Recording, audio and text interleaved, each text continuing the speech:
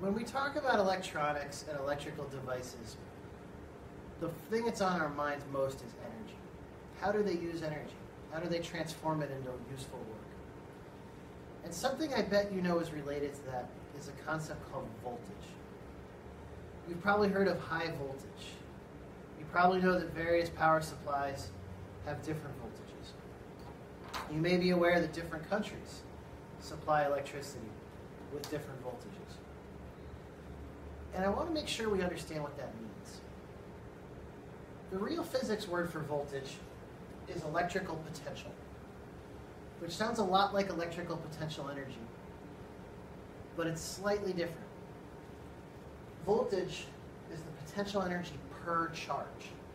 Depending what class you're in, you write, might write it as PE over Q or U over Q. So why would we care about the potential energy that each charge carries as it moves through a circuit? That's what this video aims to explain. We're first going to look at the various voltages that you might encounter in your everyday life. We're then going to try to define this and explain why it's important.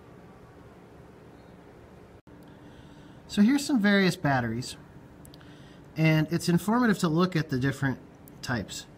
The 9 volt battery clearly has 9 volts. But the other two, the D and the AAA, I don't know if you've ever looked at them, but they actually have the same voltage, 1.5.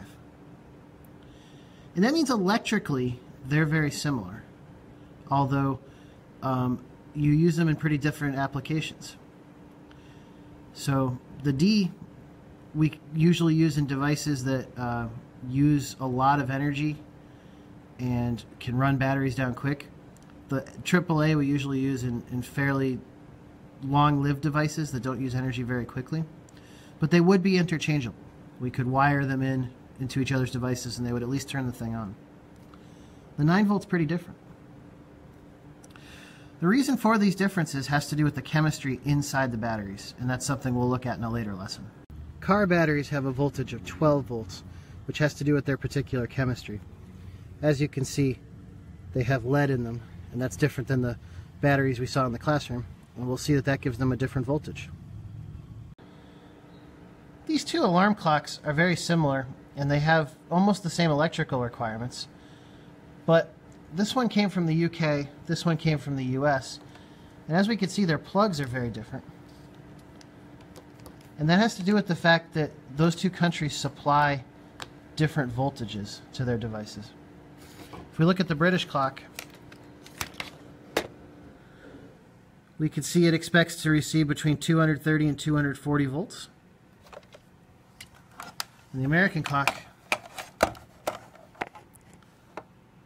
expects to receive 120.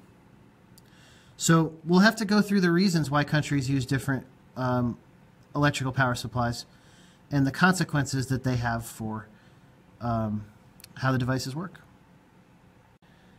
My British clock is not going to work on an American circuit if I don't find some way to transform the voltage that comes out of our electrical outlets into something that can supply this clock. This device here will do that. This part changes the, the pins so that they match American style outlets. And this part here is called a transformer. And as we can see, it actually changes an input 110 voltage into an output 220 volts. And that's enough to make that clock work. So we'll have to talk about how we convert voltages. Our Van de Graaff generators routinely generate 200,000 to 300,000 volts. So you'd think they are very high energy devices.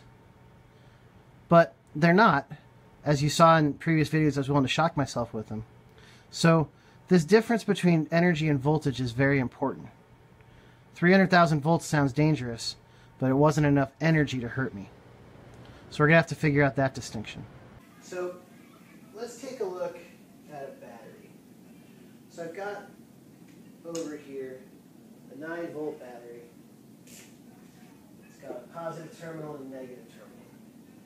And what that means is that at the negative terminal, a chemical reaction is happening that donates electrons. The positive, there's one that's consuming electrons. I'll hook them up to a light bulb. A light bulb is just a coil of wire.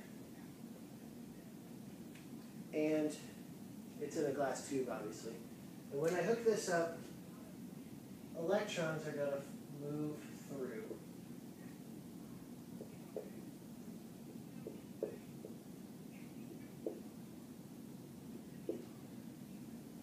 the light bulb in that fashion.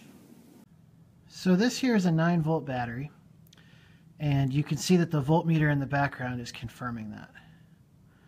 What are we measuring here? We're measuring the battery's ability to take a charge and give it potential energy. So how much energy does it use? Well, I think it should be pretty obvious. It uses more energy if more electrons go. It uses less energy if less electrons go. So we don't really have a good answer to how much energy is that use. Depends how many electrons go. So it's a little bit like power, although the key thing in this case is not time, but it's amount of charge. So it would be really useful if we had a way of looking at energy in terms of not how much total energy you get, but how much energy each charge gets. So that's what the idea of voltage is, or electric potential. And I'm sure this is still a little bit fuzzy. So I want to take a step back from electricity and go into gravity. So you know the equation for gravitational potential energy. It's PE equals mgh. And I'm going to define something called gravitational potential.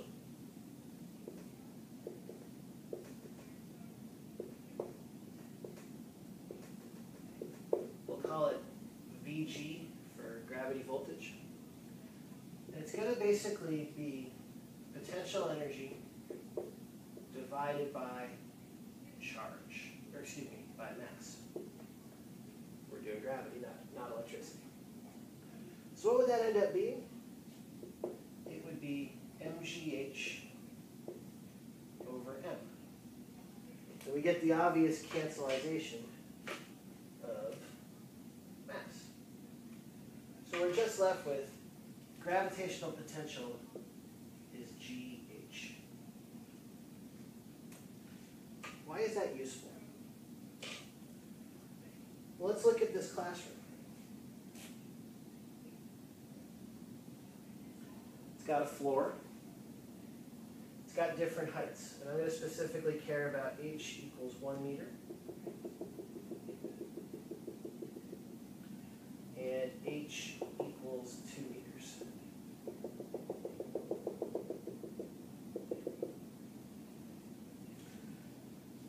So I've got three textbooks.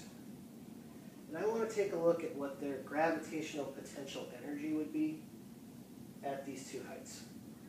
So we've got big, medium, and little. So let's take a look. My big textbook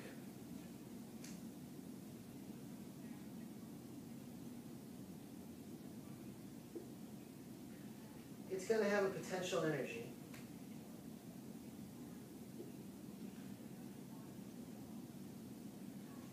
that equals its big mass times 9.8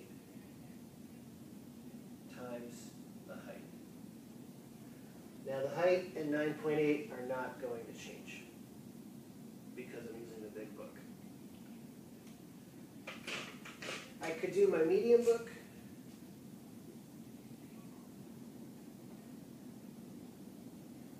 its potential energy would be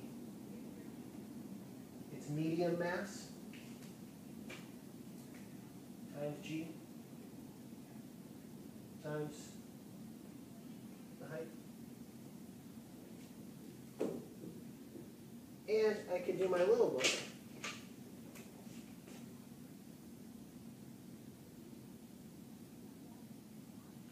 And its potential energy will be its little mass times times G times 9.8. So clearly these three guys are not going to have the same potential energy. And I think it's pretty obvious this guy's going to have a bigger one because the mass is bigger. This guy's will be medium, and this guy's will be small.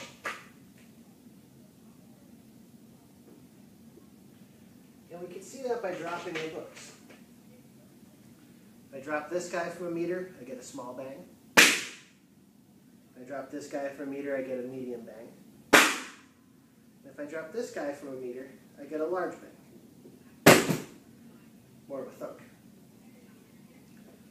But, although the energies in those collisions were different, part of the equation for calculating those energies was identical, the GH part. And we could see that in each case, the voltage, or the gravitational potential, was just 9.8 meters per second squared times 1 meter. And more importantly, if we go back to the definition of gravitational potential, we see that each kilogram of mass here arrived with the same amount of energy. The big book had more kilograms, so it supplied more energy. But inside it, each kilogram got the same energy in kinetic energy that each kilogram in the little book did. So that's so important I want to write it. Each kilogram of mass got the same kinetic energy. Called the electric potential.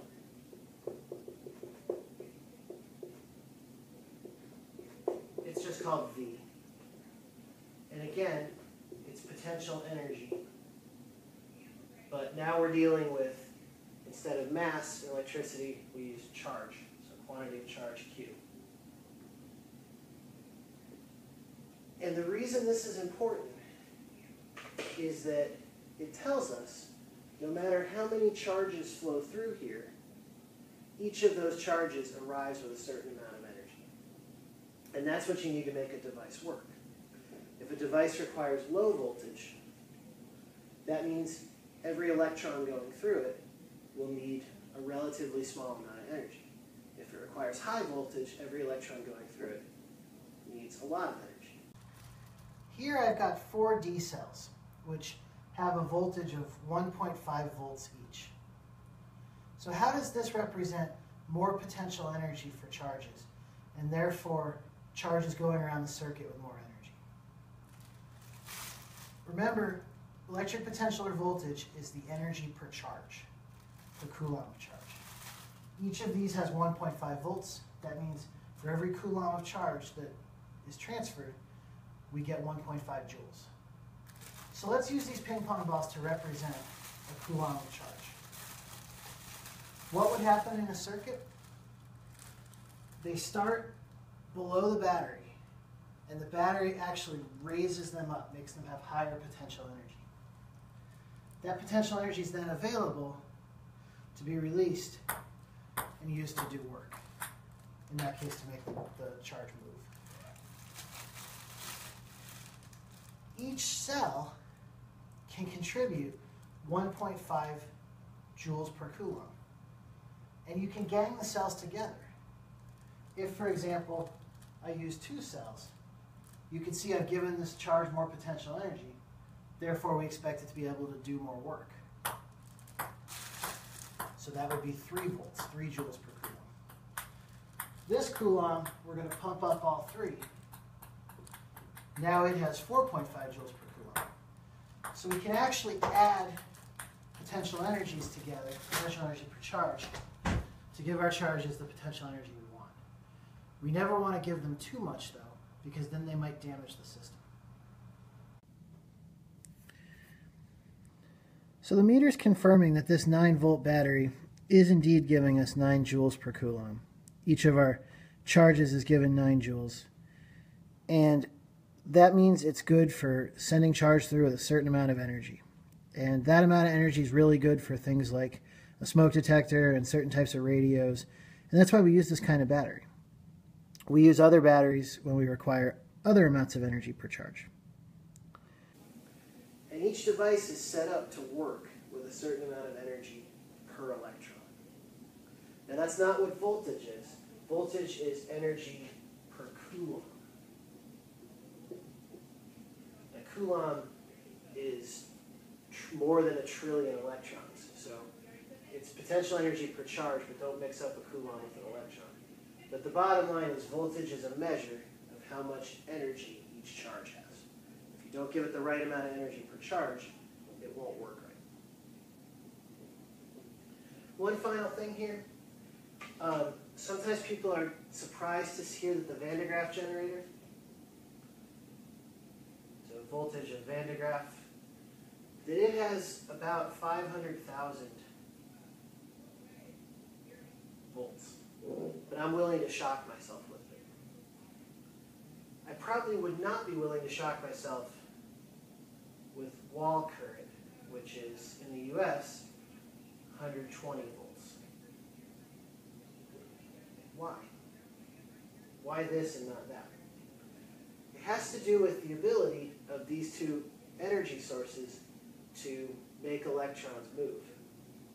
So, in the case of the Van de Graaff, if I rearrange this equation, I think we can see that energy equals the number of charges times the voltage. In the case of the Van de Graaff, even though voltage is really big, the number of charges is actually really small. And that makes the energy it delivers to me pretty small. So it can't hurt me. Wall current's a little bit different.